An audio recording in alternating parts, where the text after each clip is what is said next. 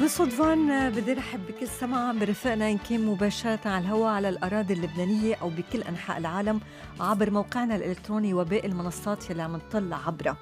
لقائنا الجديد ضمن برنامج كل يوم بيومه أكيد رح يتناول الشق الإقليمي والمحلي بموضوع الصراع الكبير يلي حسب ضيفنا ما له تسويات له حسم موحد ومثل ما كتب نحن اليوم بمرحلة التحرير من البحر للنهر وما في مجال للمناقشة. هالكلام سمعته من ضيفنا من عدة سنوات لكن اليوم عم نعيش هيدا الزمن. التفاصيل مع ضيفنا الباحث الدكتور ميخائيل عوض. أهلا وسهلا فيك. أهلا بك. هلا. بتتذكر قد إيه كنا نناقش الموضوع؟ وقد إيه كتبت تحليلات و... وقدمت وثائق ودراسات تقدير موقف معمق وأننا في زمن التحرير وستقع الحرب ونحن في حالة استعصاء ولشرارة أو كذا. فاللي صاروا كنت عرفهم يعني على الأقل أزعم هذا. نعم. آه الله يعطيك العافية دكتور آه ميخائيل عوض خلينا نبلش مباشرة قبل ما أدخل إلى غزة وتفاصيلها في شيء إقليمي ملفت زيارة بوتين إلى السعودية والإمارات ومن ثم ثم اليوم زيارة الرئيس الإيراني إلى آه إلى آه روسيا شو عم بيصير؟ هل هناك خلط أوراق دولية؟ هل عم تنرسم التحالفات الجديدة؟ هل بعد في مجال للحياد؟ واللعب على آه، وتر الخطين والمحورين. بعد في مجال هالشيء طلع إحنا اللي ساير واللي عم بيصير آه، له توصيفات كثيرة. أهم شيء إنه نحن نفتح عقلنا ونبلش نعتمد مناهج تفكير جديدة غير التي اعتدنا عليها. وأن نتوثق من عندما نقول أن جرى حدث غير مسبوق. بالسياسة بالاقتصاد بالعسكر بحياتنا الفردية. خلص ما فينا نفكر بعلاجه أو بكيف ستكون نتائجه من الصندوق. من الصندوق يعني من الماضي. ليش؟ لأنه اسمه حدث غير مسبوق. فلو مسبوق ما كان صار غير مسبوق. إذا أول شغلة خلينا نبلش نرجلج حالنا نطلع من الإسقاطات من الثوابت من التقاليد من القيم ومن الماضي اللي حاكمنا حتى الآن. يعني كنا قلنا لمرات عديدة نحن في حقبة مخاض شديدة لولادة نظام عالم جديد. جديد مش نظام عالم, عالم جديد, جديد. نعم. وفسرنا ليش عالم. مش نظام وقلنا عن ثلاث يعني ما ثلاث حقب آه، الحياة البشرية. جاوزنا اثنين الثاني شيخة اللي اسمها العالم الأنجلو ساكسوني الذي تأسس وأطلقت مفاعيله في معاهدة وستفاليا 1648 والعالم صار له 30 40 سنة. عم يتحرك عم يخوض حروب يخوض معارك تجري تبدلات. من أجل الولادة استعصت الولادة فجرت عملية قيصرية من الخاصرة الأوكرانية. لم تنجح بالولادة عاد الزمن والتاريخ إلى الجغرافيا التي تولد. ما هي الجغرافيا التي ولدت كل جديد بتاريخ البشرية بر وساحل الشام؟ بالمناسبة غزة هي حدود ساحل الشام وبرها من جهة إفريقيا لأن الشام أو العربية القديمة الجغرافيا الممتدة من ساحل غزة إلى طروس زغروس فالهضبة الإيرانية وبحر العرب يعني إلى المحيط الهندي قديما كانوا يقولوا يقطعها خط وهمي يقسمها جنوبية وشمالية. اليمن أخذ اسمه من الجنوب نحن بنقول اليمين يمين. على الجنوب والشام أخذت من الشمالية بهذا الجانب. كان في عربيتين في هذا الزمن. والثابت عبر كل الأزمنة والتاريخ وأنا دائما بحكي عن كتاب صراعات دولية وساحل الشام اللي صدر بال 2004 لعبد المسيح عبد الملك أو العكس فيها. آه، عمل رصد آه، من آه، أربعة آلاف قبل الميلاد إلى 2004 ميلادية وطلع باستنتاج أن هناك مثلثا بزوايا ذهبية لصناعة مستقبل تاريخ الإنسانية. صناعة مستقبل الإنسانية. وبيقول أي أي قوة إذا انتصرت بواحدة من زوايا المثلث الذهبي اللي هن فلسطين القدس بيسان يعني غزة أو بغداد أو بيروت. شوفوا وين الزوايا حكما ستصبح قوة آه، إقليمية أو إمبراطورية وأي إمبراطورية هزمت في واحدة من الزوايا بدها تتراجع وربما تندثر. وهول هلا يعني عندنا شواهد متى سقطت آه، السلطنة العثمانية؟ عندما هزمت آه، في غزة بمواجهة ثلاث جولات من المعارك مع العثمانيين. سقطت غزة سقطت السلطنة. عندما سقطت بغداد وبيروت سقط الاتحاد السوفيتي اللي كان هو جزء من المثلث فيها. الآن أمريكا أو صار أحسن نقول العالم الأنجلوساكسوني لأنه بيجمع أمريكا والغرب والأطلسي. الأطلسي عموما. يلفظ أنفاسه في الزوايا الثلاث. فإذا نحن ذاهبون إلى ولادة عالم جديد. زيارة بوتين آه، في هذا الظرف تأتي لتؤكد آه، على الأقل ثلاث حقائق واضحة. أن روسيا ليست لا تدير ظهرها للمنطقة تدرك أهميتها وتطوراتها وتحاول تأكيد دورها في هذا الزمان. وبالتالي هو إجا عنده مبادرة. اثنين أن الخليج أخذ مسافة عن أمريكا ولا عودة عنها على عكس كل اللي صار الحكي واللي بيضلوا يقولوا لك كيف محمد بن سلمان بده يتحرر من الأمريكان وما بعرف شو في هذا السياق. أن العالم انقسم الآن. إلى محورين وأستطيع على مسؤوليتي أن أقول الحرب الجارية في غزة وما سبقها وامتدادها إلى أوكرانيا. نحن في حرب عالمية عظمى مسرحها ومساحتها وتستخدم فيها كل القوى. بمعنى أدق الروسي والصيني الآن يفركان آه، أيديهما فرحا. أن أمريكا والأطلسي ماك والعالم الانجلو ساكسوني وبشخص بايدن وهلأ البريطانيين جاءوا ليعلنوا أنهم هم يقودون إسرائيل ويقودون الحرب. طيب ممتاز. في منطقة سيهزمون حكما وقطعا وعلى كل المذاهب المذاهب العسكرية والمذاهب ديني. علوم الاجتماع عرفتك بدنا نهزمه. طيب لكن قديش وفروا على الصين احتمالات وخطر حرب عالمية في بحر الصين اللي كان عم ينحكى عنها حرب نووية وإلى آخره؟ ولكن قديش وفروا على روسيا اللي هلأ يعني نائب قائد الأطلسي قال توقعوا أنباء يعني دراماتيكية في أوكرانيا. متوقع أنه تسقط كيف بين لحظة والتانية؟ مش بهجوم مش بالضرورة بهجوم ضاد. بانقلاب واستسلام بهذا الجانب. نعم. فإذا نحن شئنا أو أبينا رغبنا أو لم نرغب أكان هناك غرفة عمليات واحدة لمحور آه، أوراسيا آه، دول الجنوب محور المقاومة. إذا كان في غرفة عمليات وحدة تنسق أو لم يكن لأنه هون بصير التنسيق بنسميه تقاطع مصالح موضوعية. نحن بإزاء محورين يحتربان في العالم بكل أشكال الاحتراب. في أوكرانيا بدأ, بالنار في المنطقة العربية مع محور المقاومة بالنار بالصين حرب عالمية اقتصادية وحرب عالمية مالية أو نقدية. إذا نحن في حرب عالمية عظمى ستستعجل ولادة العالم الجديد وسيكون العالم الجديد يحمل أخلاق وقيم وطبائع آسيا نعم. دكتور والأديان. دكتور ميخائيل عوض حضرتك عم بتقول إنه زيارة بوتين بتحمل ثلاث نقاط أو ثلاث أهداف. أول شيء عم بقول أنا بعد عندي دور بالمنطقة أو بداية دور في المنطقة.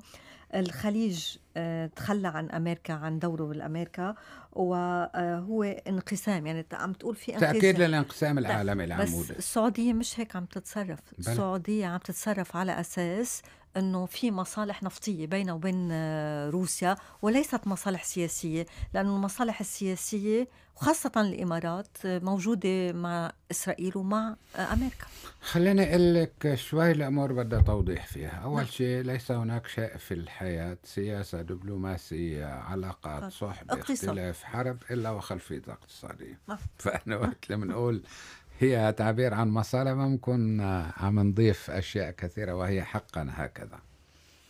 اثنين السعودية في هذه الحرب ليست السعودية في حرب تموز لا هي ولا الإمارات ولا النظام الرسمي العربي. تتذكر بحرب تموز كيف وين كانوا؟ كانوا مع إسرائيل قالوا عن المقاومة مغامرة شاركوا بفرض الحصار على حزب الله وعلى المقاومة نصبوا سوريا وإيران وحزب الله الأعداء وإجت بعد الربيع العربي فيها طب اليوم السعودية مثلا آه، هل استجابت لضغوط بايدن وقبلت إصدار بيان بإدانة حماس وعملية طوفان الأقصى؟ هل القمة العربية والإسلامية أصدرت بيانا بإدانة عملية طوفان الأقصى؟ هل بالكلمات يمكن استثناء كلمة آه، الباكستاني وحدا أوروبي اللي حاول أنه يساوي بين جرائم إسرائيل وطوفان الأقصى بالقمة الإسلامية أصلا. القمة العربية الإسلامية. والباقي؟ لا. محمد بن سلمان فيها عندما جاء بلينكن بزيار بزيارته الأولى آه، نطروا عشر ساعات بس عدوا قال لهم الآخر قلنا لكم غير مبادرة آه، بيروت قمة بيروت ومبادرة الملك عبد الله ما في حل للصراع العربي الإسرائيلي. اذهبوا لتجدون حلا سياسيا والحد الأدنى آه، مشروع الدولتين أي انسحاب إسرائيل إلى حدود الرابع من حزيرة. طيب السعودية هي مش صحيح هي السعودية تبع 2006 مصر الآن التي التي رفض رئيسها وأبو مازن والملك عبد الله أن يعقدا قمة مع رئيس النظام العالمي اللي اسمه بايدن لتشكيل قوة تبدو متحالفة لحماية إسرائيل ما قبل. ومصر والأردن قالوا أنه عملية تهجير وترانسفير للفلسطينيين يعني إعلان حالة حرب.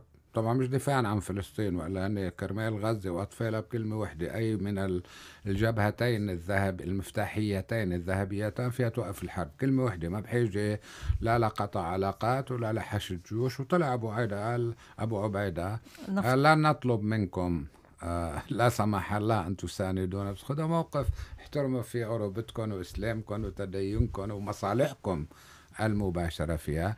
فأنا لا أوافق على القول أن الحالة الرسمية العربية والإسلامية والعالمية ناهيك الحالة الشعبية اختلفت هي كما كانت في السابق. طيب ليه عم بيتم تسويق دكتور عوض؟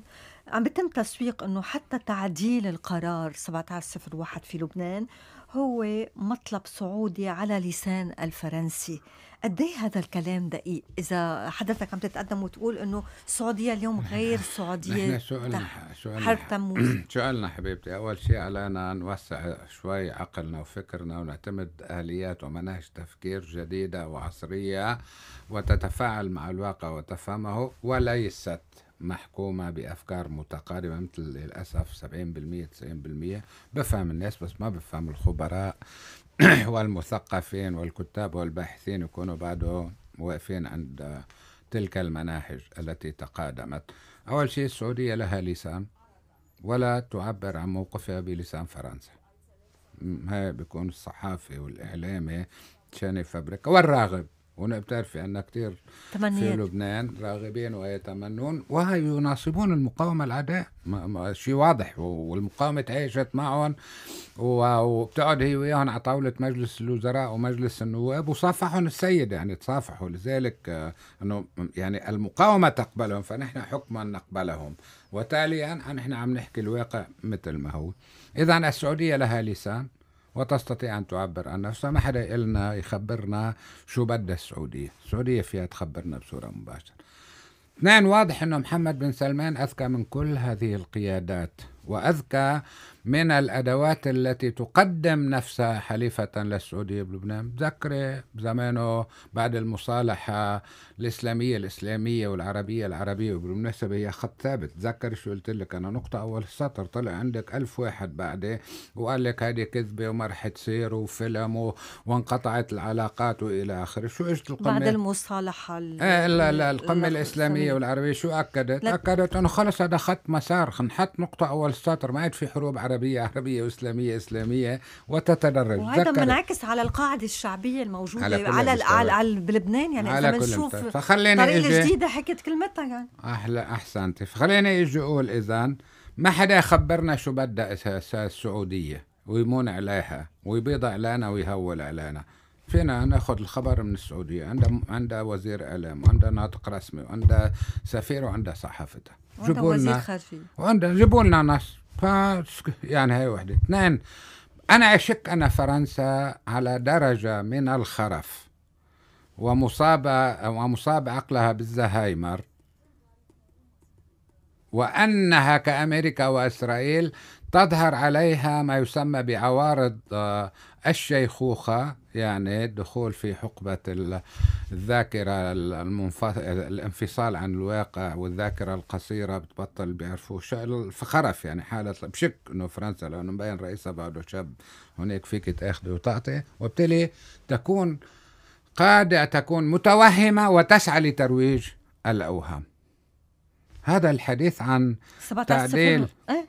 صفات شو شو قصته؟ لا لك شو. الحديث عن تعديل 1701 عن تطبيق 1701 الحديث عن والتهويل بقوة نتنياهو وإسرائيل وأمريكا لفرض قبوله على المقاومة لإبعاد المقاومة إلى إلى خط الليطاني أو أو, أو على الأقل قوة الرضوان إذا مش أو صيدا أو صيدا أو لا للأول هذا الحديث ما بيحكي لواحد عنده زهايمر بكل ما تعني هالكلمة ليه؟ قد صار له 17 01 17 سنة طيب ليش ما طبق؟ ليش ما كان في قوة قادرة على تطبيقه؟ طيب إيش اللي لنا يحطيها على جنب فيها جاء بايدن بشخصه لأول مرة أثناء الحرب وفي الأسبوع الأول يزور إسرائيل وسبقه أن أرسل أحدث حاملات طائراته والقطع البحرية وأحدث آه، غواصة نووية إلى المنطقة. وقبل أن يأتي سبقته الدعاية بأنه آه، الوسطاء أجروا اتصال وهددوا حزب الله وهددوا لبنان بالويل والثبور وإيران بالحرب النووية وسوريا بتدمير دمشق. إن فتحت جبهة الشمال صح؟ صح. قامت تردد جبهة الشمال باليوم الأول وفت وفتحت. وقت اللي اجت الإنذارات ما قالوا لهم بدنا وما بدنا؟ وسعت دائرة الاشتباك وأسقطت قواعد كل قواعد الاشتباك. انتبه مش ال 2006 تبع ال 1982 أسقطت. لأن قواعد اشتباك 1982 اشترطت وثبتت ومنعت للفلسطينيين حمل السلاح والقتال إلى جانب أهلهم في الضفة وفي غزة. شو عمل حزب الله؟ قالوا بدكم تهددونا وتلوحوا مش قواعد الاشتباك مزارع شبعة هي ال 105 كيلو متر فتحناه وبعمق 500 متر آه 5 آه 5 كيلو. متر الناس ما ما مدركين بعدهم اللي بيقولوا وين حزب الله وكذا. بتعرف إنه الاشتباك والحرب الجارية في جنوب لبنان تجري في مساحة ثلاث أضعاف غزة؟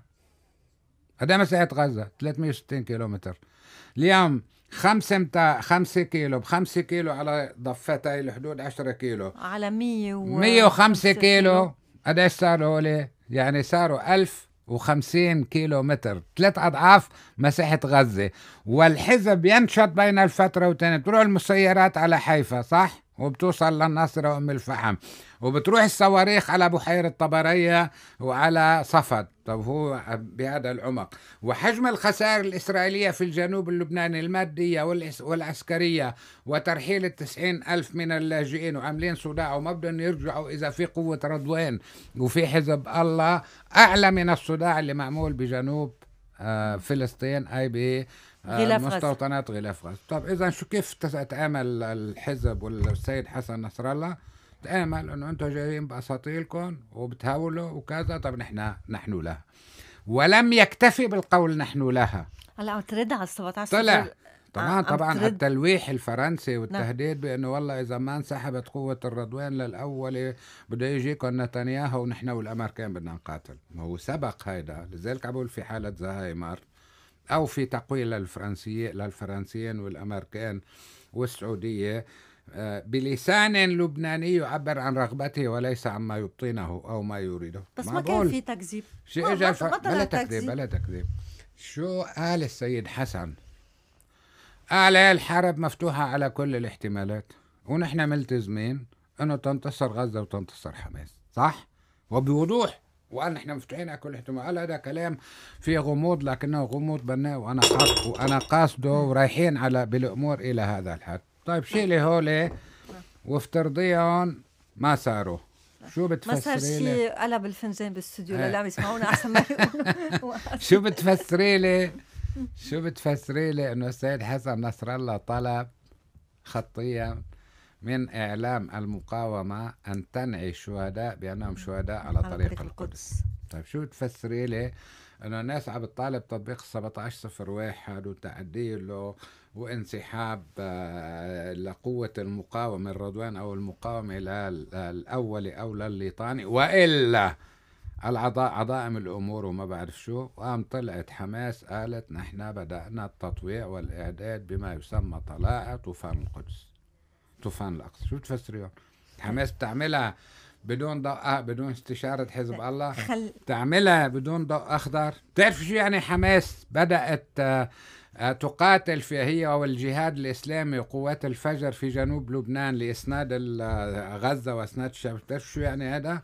بتعرف شو يعني الإعلان إعلان الشهداء شهداء على طريق القدس؟ هذا بيعني أنه حزب الله ومحور المقاومة اعتبر أن عملية الطوفان وما هو جار هي الحرب الكبرى التي كان السيد حسن نصر الله من أربع سنوات يشربنا إياها بالمعلقة. وما كنا نفهمها وما كنا نشربها. وآخر شيء قال أكملنا عدتنا واستعداداتنا وتجهيزاتنا وتدريبنا وسلاحنا. والحرب الكبرى ستكون أقرب من توقع أكثر المتفائلين. والحرب الكبرى هي حرب تحرير فلسطين من البحر إلى النهر. دكتور. فوقت الحزب والمحور. فاتح جبهة جبهة بمساحة 3 مليون كيلومتر. فيها 220 مليون إنسان. لأول مرة تدخل أربع بحار مجال الاشتباك ومسرحها. والقول للأمريكان وللأنجلو ساكسون لأنه آه، آه، كل الإمبراطورية التي تغيب عنها الشمس تبع بريطانيا كانت من وراء الأساطيل لأنها دولة بحرية وسلمتها لأمريكا. هذا المحور أدرك أيقن استعد أعد باتت له الفرصة الآن مؤاتية وذهبية وذهبية ويخوضها يخوضها وليس باعتبارها جولة وليس باعتباره فقط ترصيد بالنقاط باعتباره حرب مفتوحة إلى حين تحرير فلسطين من البحر إلى النهر. مشان ما اقطعك رح أسأل سؤالين وأترك لحضرتك. لا بالعكس. آه، دكتور عوض آه، من هيدا ما تقدمت فيه عم بتقلنا إنه رايحين إلى التحرير. لا مجال نحن أمام ما تحرير استوت مق- استوت 75 مقالتك- سنة بكفي. مقالتك بالأمس بتحكي إنه لا في مجال لا التسويات ولا الصفقات ولا نعم. المناقشات ولا الحلول ولا شيء. رايحين إلى إلى التحرير. كيف بده يكون في تحرير؟ وما دام كمان من صغريتك قبل بساعة بتحكي فيها كمان عن الميدان. بدي أجمع لا حل سياسي لكن الميدان بده يحكي. أي ميدان نحن حرب عالمية رح نكون؟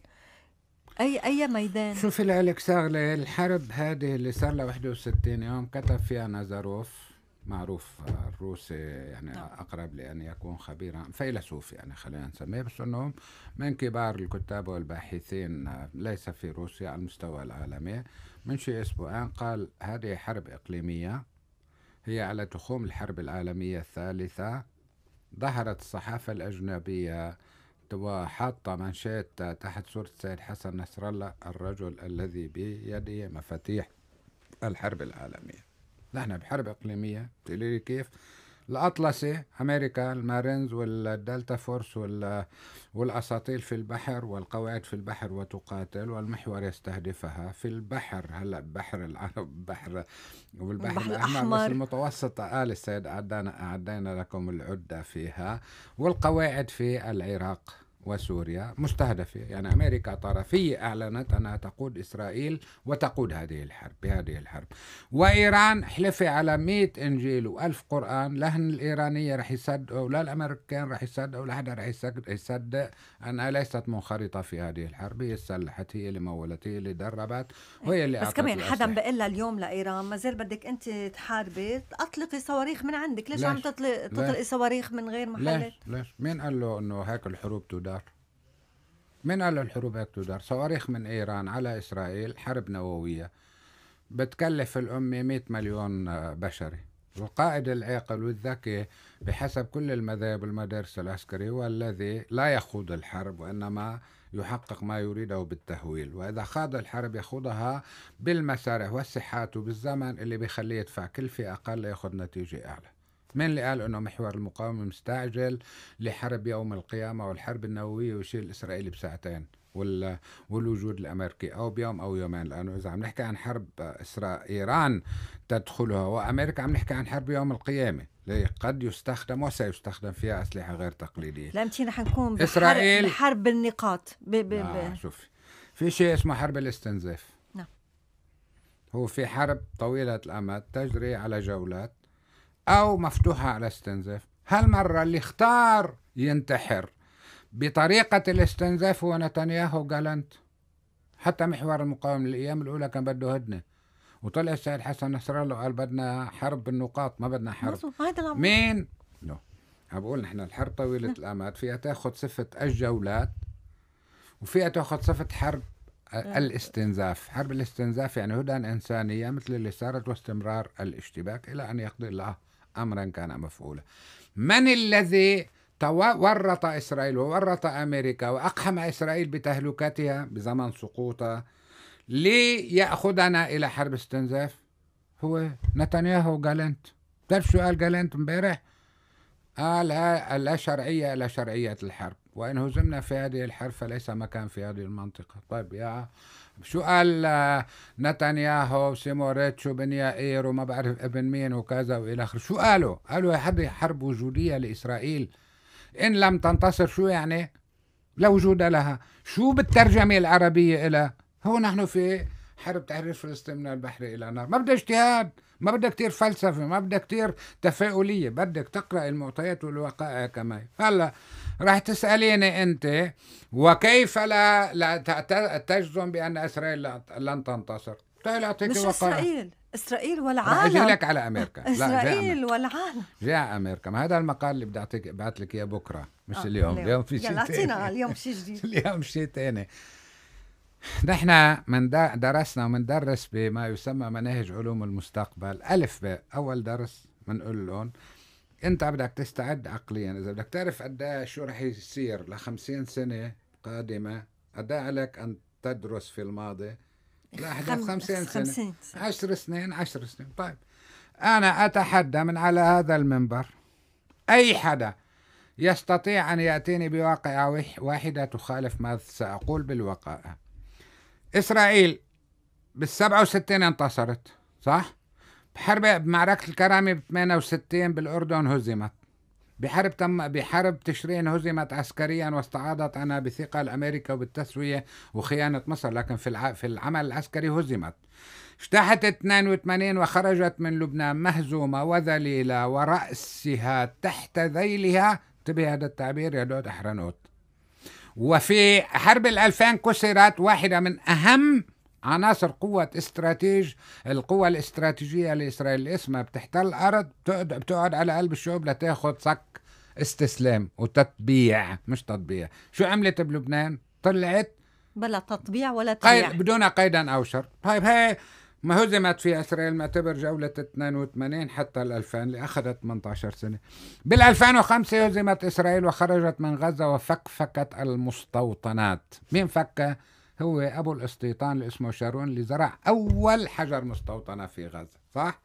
بال 2006 جاءت إسرائيل تعتد بعضلاتها وعنصر القوة الاستراتيجي الثاني التي كانت تخضع الشعوب والأمم والدول والعرب شو هي؟ الذراع الطويلة الحرب في أرض الخصم. معك التفوق الجوي والناري. بال 2006 قال لهم قالت لهم المقاومة بعد 33 يوم أنتوا وذراعكم الطويلة كسرنا وكسرنا رقبتكم وصارت الجبهة الداخلية في إسرائيل والحرب فيها، لكن اليوم وين الحرب بشمال فلسطين؟ خمسة كيلو بخمسة بتزيدوا نص نص متر بنزيد متر. مشان مصداقي طب اذا ال 2006 هزمت فيها.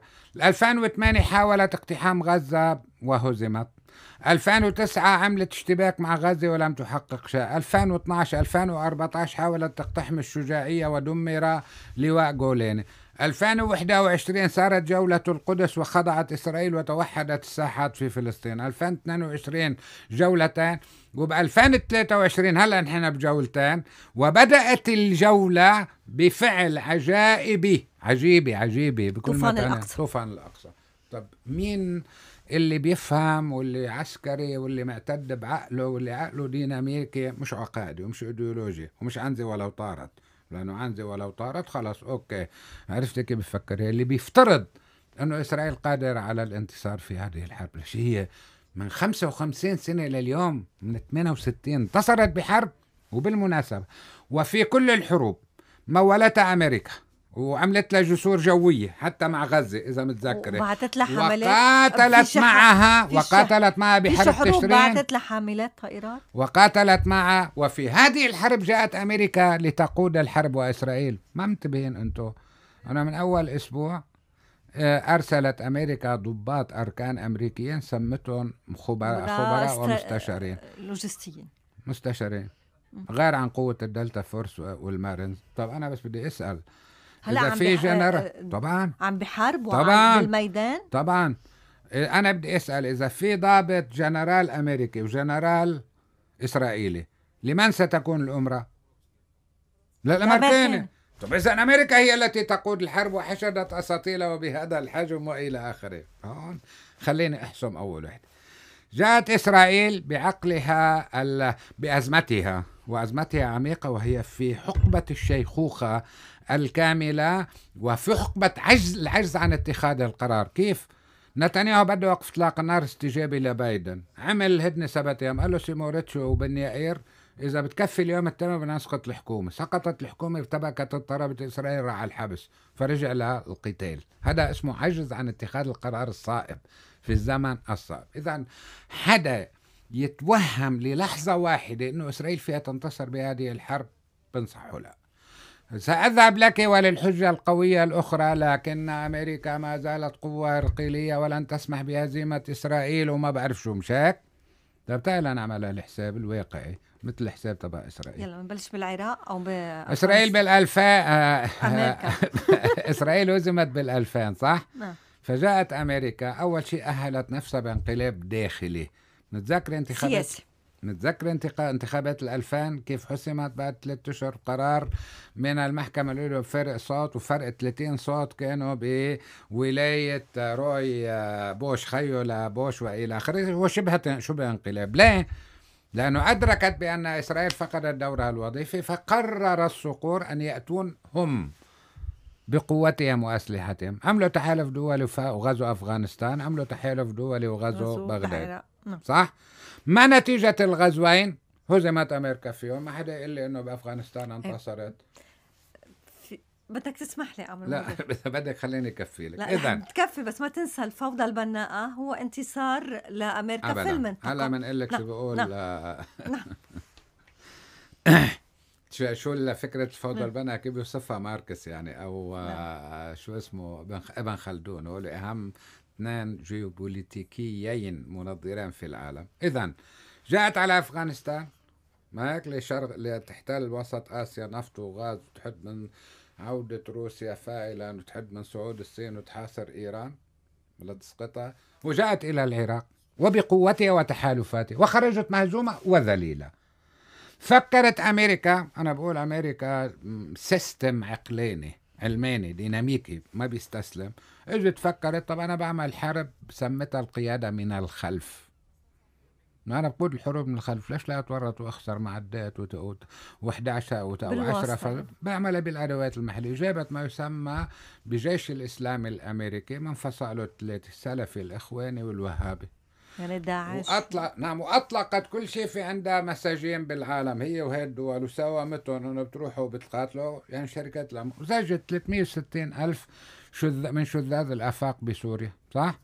وبررت عبر قطر مجلس التعاون الجامعة العبرية أو الجامعة العربية غزو آه ليبيا لتدميرها وحاولت وجندت الدول العربية وإسلامية وحاولت أن تسقط اليمن.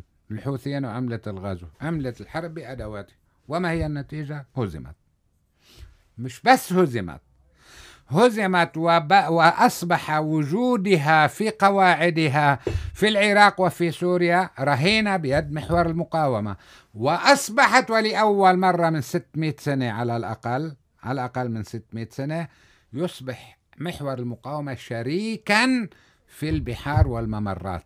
بتعرف شو يعني شريكا في البحار والممرات؟ عن أي بحار عم نحكي نحن؟ عن المندب عم نحكي عن البحر الأبيض المتوسط. بتعرف شو أهميته هذا؟ يصل هذا الشرق بالغرب. لا هذا الأهم من هيك. إمبراطورية قرطاج الفينيقية. حتى الآن هي أوسع إمبراطورية بتاريخ البشرية. وحينها كانت الأذكى وال وال والأكثر ثقافة. من طلعوا هول الفينيقيين تبع قرطاج واحتلوا العالم. من هون من لبنان ومن سوريا. عرفت كيف؟ إذا البحر المتوسط. البحر المتوسط علم البشرية التجارة. ما هيك مش هي بلشت مع الفينيقيين البحر المتوسط عز علم العالم الحرفة والحرف. والحرف. البحر المتوسط علم العالم صناعة السفن من أرض لبنان. أو أرز عرفت كيف هذه المنطقة؟ اذا نحن نتحدث عن بحر عن بحر حاكم. من يسيطر عليه؟ يسيطر على التجارة العالمية. طب ما بالك؟ البحر الأبيض والبحر الأحمر 40% من التجارة العالمية بتمرق عبره. وبحر العرب والخليج اللي كمان أكثر من 40% من نفط وغاز أوروبا والعالم يمر منه. ومتى؟ وأوروبا شائخة ومأزومة وعاجزة. وقد استجابت لأمريكا وقطعت النفط الرخيص والسهل الوصول والغاز الروسي. وعم تلفق بدها شوية نفط من لبنان ومن إسرائيل من البحر المتوسط. في هذه المعركة في هذه الجولة بعد عشرون سنة من الاشتباك المباشر مع أمريكا. وخمسة وسبعون سنة الاشتباك المباشر مع إسرائيل المسنودة من بريطانيا فرنسا ثم أمريكا. وقرن من قرن وخمس سنين لأنه بالألف بال 1918 بدأت ثورة صالح العالي رفضا للاستعمار الفرنسي بجبال العلويين أو بجبال طرطوس واللاذقية وصارت الثورة من إمتى بقاتل عم تقاتل المنطقة من 1918 يعني قرن وخمس سنوات في مواجهة هذا الزرع الخبيث اللي اسمه إسرائيل. هذه الهيمنة الخبيثة التي أفقرت وأدمت ونهبت وكل شيء لهذه الشعوب. يبدو كمان الله عز وجل ربنا وكمان الطبيعة والجغرافيا كمان الجيوبوليتيك كمان الصراع كمان التاريخ والأزمنة. بدها تنصف هالشعوب والأمم لازم يضلوا كل عمرهم بحروب. فنحن على عتبة التحرير. وتحرير فلسطين مقرون بزوال السيطرة الأمريكية والغربية من المنطقة والأهم. سقوط نظم سايكس بيكو اللي اجوا بعد من نواتج الحرب العالمية الأولى بوعد بلفور وبسايكس بيكو والتقسيمات وبإنشاء هذه الكيانات المصنعة لتخدم وتتخادم مع إسرائيل. والجميع يخدم المصالح الغربية التي آلت إلى رأس النظام النظام العالم الأنجلو ساكسوني اللي اسمه أمريكا وبلغت حقبة الليبرالية والتوحش. وأبرز ما نشهده من طبيعة هذا السيستم والشهادة على أنه يلفظ أنفاسه هو ما تفعله إسرائيل في غزة. إسرائيل في غزة. داست شرعة حقوق الإنسان. داست القانون الدولي الإنساني. داست تعرفي كيف كل القوانين الناظمة للحروب وحماية البشر وحماية الإنسان. جريمة حرب جريمة ضد الإنسانية صح؟ إسرائيل وتحت الأضواء. وتفاخر بذلك. حق, حق الدفاع عن النفس وبالمقابل ماذا قال لنا القساميون؟ أن الحضارة الإنسانية وحقوق الإنسان وإعادة تأصيل شرعتها وشرعة حقوق الحيوان نحن اللي بنعملها. لأننا مقاومة مؤمنة. أنت شفت الفارق؟ بالأسرة. أنت شفت الأسيرة اللي طالع عمرها 15 سنة وجهها مورد وعم تضحك وعابطة كلبة. لك أنا هيك سفنت إنه يا إلهي على هذه المقاومة. واحد مقصوف بيته مقتولة أمه وبيه وولاده معك وأطفاله هو بأي لحظة ممكن يموت؟ فاضي! يروح يجيب أكل للكلب ليطعميه له اياه ويطلعه. عرفتي كيف؟ ليمشيه وإلى آخره تحت القصف. شوفي القيمة والأخلاق. في شيء غزة عم تصنعه غير أنها أسطورة المقاومة عبر الأزمنة. شعب أبدي وجبار قدرة على التحمل هائلة قدرة على المفاجأة هائلة. الآن يجري تأصيل القوانين الناظمة للحياة البشرية على قواعد ثقافة آسيا والعرب ثقافة الأديان في النظام في العالم الجديد الذي تسرع عملية غزة القيصرية مع العملية القيصرية في أوكرانيا بولادتها خمس دقائق بخصوص الفوضى البناءة. مش هيدا نجاح لأمريكا please بدقيقة لأن بعد عندي سؤالين خليني أقول لك شغلة آه، ابن خلدون بقول الفوضى هي المرحلة الحتمية لانهدام القديم وولادة الجديد. كارل ماركس في البيان الشيوعي بيقول عندما آه، تتساوى الموازين بين الطبقات المحتربة تذهب البشرية إلى التوحش إلى التوحش يعني إلى الفوضى. البناء. إذا الفوضى البناء ليست قرارا وليست استراتيجية هي دليل. على أن النظم القديمة الجغرافيا القديمة شاخت ولم تعد قادرة على الحياة لم تتولد قوى حاملة لمشروع بديل. مثل واحد عنده بناية بلشوا على حجارات رمامة رمامة ما بعرف شو. قام وصل لمحل. ما عنده مخطط هندسي لينشئ محل يهبطه وينشئ محل. بناية شو بتعمل بناية؟ على حال إذا الفوضى الخلاقة هي حقبة تاريخية حتمية حسب علم الجيوبوليتيك وعلماء الجيوبوليتيك وعلم السياسة وعلم المجتمعات هي حقبة ضرورية لانهدام القديم وتوفير شروط ولادة الجديد اللي نحن فيها ليست نجاحا لأمريكا. دكتور عوض بعد في شيء لازم نطرحه جدا وضروري. بدنا نستشرف المرحلة المقبلة. أوكي. حضرتك قلت نحن حرب استنزاف حرب بالنقاط لا تسوية سياسية آه رايحين إلى تحرير فلسطين وزوال بريطانيا وأمريكا من المنطقة. شو؟ كيف, كيف؟ قد وقت. خليني أقول لك كيف؟ هي حرب غزة الأمريكان أعطوه لنتنياهو لآخر السنة. ليش لآخر السنة؟ امبارحة أعلنوا رسميا إنه معقول تتمدد كم يوم لا لا ما, ما okay أسبوع هو مش بحساباتنا اعطوه من هون لآخر السنة إذا استطاع واستمر لن يستطيع شو تحقيق شو المطلوب؟ هلا صار يحيى السنوار هو الهدف الأساسي. okay إذا نحن متفقين ان اسرائيل ستهزم في هذه الحرب وهي حرب وجودية. ما الذي سيحل بعد أسبوع أو أسبوعين؟ أما تنفجر إسرائيل بأزماتها ونحن شايفينها ما هيك؟